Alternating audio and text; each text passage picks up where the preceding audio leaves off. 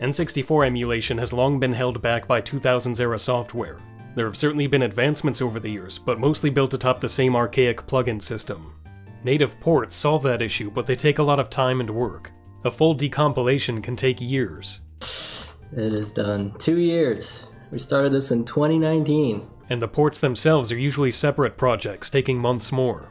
Not every game can get this treatment, with most efforts so far focusing on the same handful of popular games that emulators did. What if there were a way to, I don't know, magically turn an N64 ROM into a runnable EXE? Like, in a matter of minutes, while opening the door to ray tracing, 4K, widescreen, gyro, and high frame rates, if it's not too much trouble. It may sound like a late April Fool's Day joke, but that's what the static recompilation tool made by Modder Wiseguy is capable of. I thought viewers might not believe this was real, so I asked Wiseguy to record a demonstration.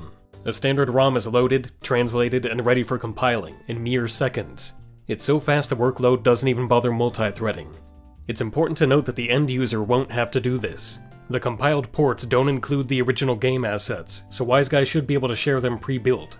You'll be prompted to load from your own ROM dump on first startup, similar to the current PC ports. As far as how it works, the tool converts the N64 code into C, which can be compiled to run on a modern processor, and at runtime the renderer translates the graphics operations to modern low-level API calls. Direct3D 12 on Windows and Vulkan on Linux. Wiseguy likened this to the way Valve's Proton compatibility layer works, and also compared it to the approach taken by the Mega Man Legacy Collection. A decompiled port may alter the game's source code to make it easier to run on PC, but the translation-based approach of these recomps keeps the internal processing the same as original hardware. Wiseguy claims their method achieves near parallel RDP accuracy, having created dozens of test ROMs to make sure the original lighting and effects are correct, and I've seen nothing so far to suggest otherwise. Issues GLideN64 still struggles with, like depth effects, work perfectly here without the need to configure pages of settings. Any glitches I ran into were related to the high frame rate feature and have been patched. The only suspected bugs otherwise, like this wobbly effect when the screen shrinks, turned out to be accurate behavior, though the effect was fixed anyway just for good measure. I didn't experience a single crash or any stability issues. There was a game-ending bug involving a lot of head stepping, but that's a known issue with the game itself. That said, the automated process isn't perfect, and the recomps usually require manual fixes for things like modern hardware speeds being way faster than expected but the amount of time and work needed to patch them up pales in comparison to a full decompilation and port process. While the Majora's Mask decompilation is still inching towards completion, Wiseguy claims to have had a fully playable port as early as February 2023, and it only took two days to make. The time since was spent polishing the recompilation process and various enhancements. In no way does this render decompilation and traditional porting obsolete. A recomp's code is not readable, so having fully reverse engineered source code is a big help for modding and patching even when using this tool. Part of the reason Majora's Mask only took two days is that there was a decompilation to reference. But of course, the point is that you don't need a decompilation to create a port anymore, opening the door to the most obscure games running natively on PC. Wiseguy's first successful recomp test was Rocket Robot on Wheels, a game I had never even heard of before, but that now has a port thanks to this tool. Even Superman 64, a direct affront to God, has a port thanks to this tool. That's not a joke. This piece of shit is on PC. Testing has been limited to a handful of games so far, but Wiseguy expects the tool to generally work with the full N64 library. The exceptions will be games with custom microcodes. For Majora's Mask, the lighting microcode was already understood well enough to be implemented in its port. For other less documented microcodes, ports could still work but in LLE mode, which would mean sacrificing the major enhancements like ray tracing and high frame rates. Speaking of, major enhancements like ray tracing and high frame rates. These come courtesy of Dario's RT64 renderer. You may know Dario from his excellent Mario 64 ray tracing fork. When preparing to bring RT64 to Ocarina of Time, he realized he could carry his work over to an emulator plugin and deliver those enhancements to many games at once. From there, Wiseguy's experimental recomp tool allowed RT64 to bypass emulation altogether. Some of the screenshots Dario has been sharing for the RT plugin were secretly from these recomp ports instead. The emulator plugin is still planned for release, but the recomps will be less restricted when it comes to enhancement potential. And in a few ways, the recomps will be less restricted than the current PC ports.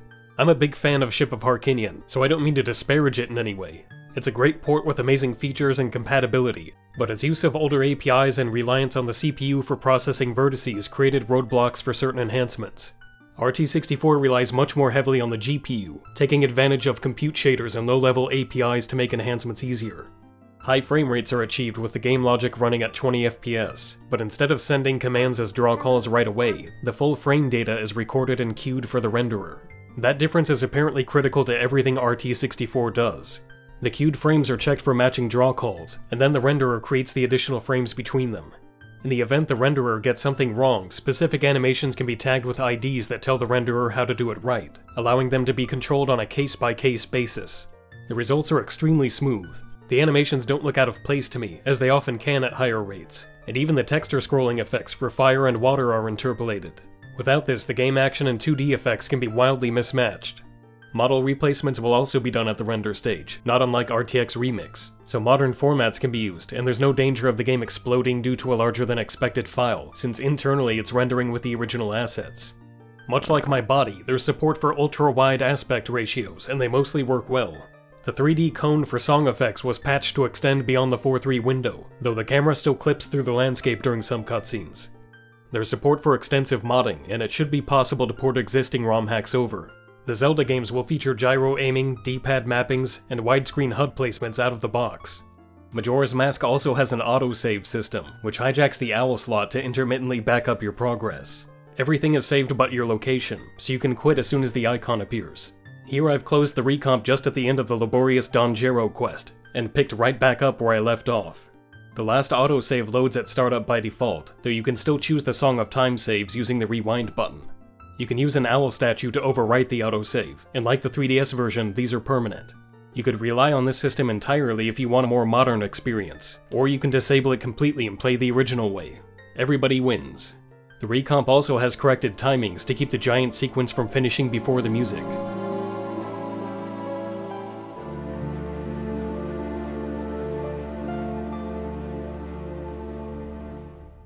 These ports have been designed from the ground up to have low latency and no stuttering, using an Uber shader approach similar to Dolphin's. It's unbelievable how fluid and smooth Majora's Mask is every step of the way. From the pause menu to the picto box, there's no hanging or delay in any of the usual places.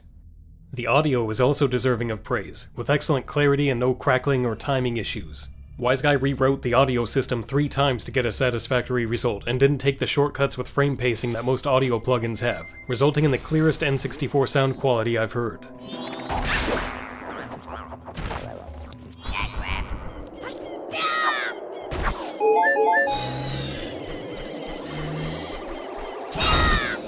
After years of fiddling with plugins and still getting bad results, it's a relief for the sound to just work, and to work this well.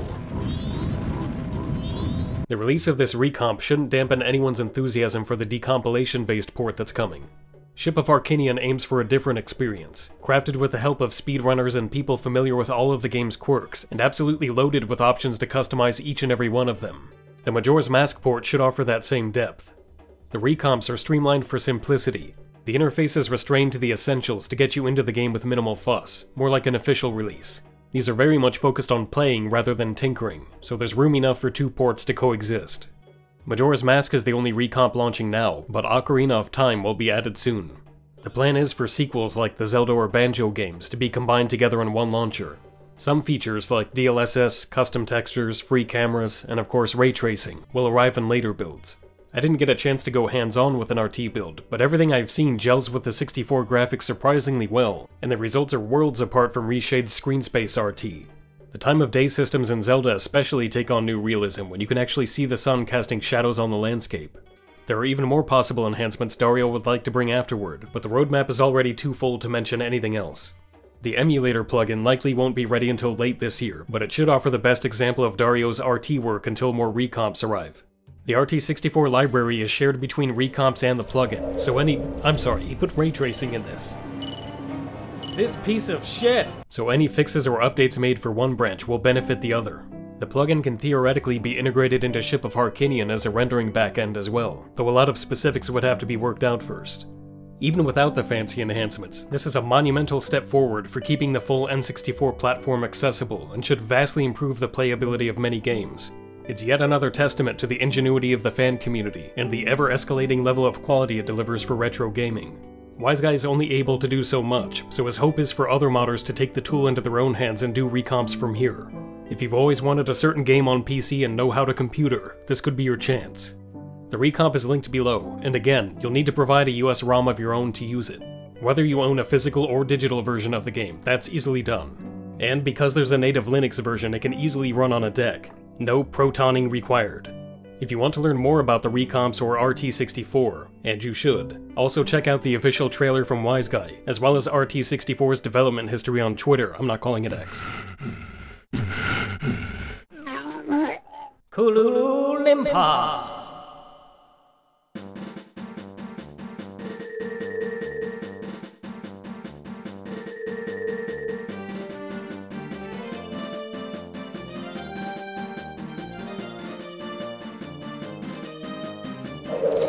Piece of shit! Superman. In short time, your fate will be sealed. Superman. This piece of shit! Then there's no time to waste. Superman. In short time, your Superman will be sealed. Superman. Fuck! Then there's no time to. Superman. Superman. In short time, your Superman will be Superman. Piece of shit! Superman. Superman. Fuck. Superman. Superman. Superman. Shit!